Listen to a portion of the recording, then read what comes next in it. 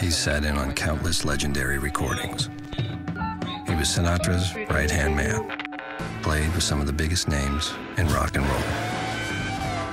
He was there at CBGB's in 77, Sunset Strip in 81. He's been on tour since 1866, and he's still going strong today. His name is Jack.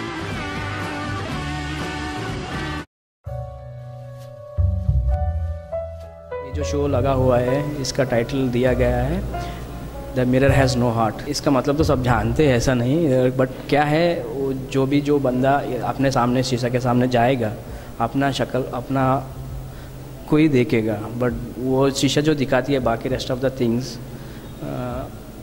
we are neglecting in the sense तो वो जो जो हम लोग जो छोड़ा हुआ जो चीज़ जो है, वो जो भी चीज़ दिखाती है मिरर तो बैड और गुड और नेगेटिव पॉजिटिव तो whatever I try to show them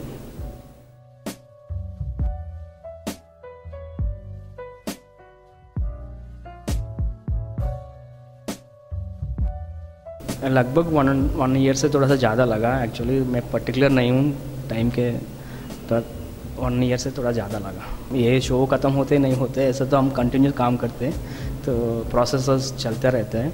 So still i'm doing new works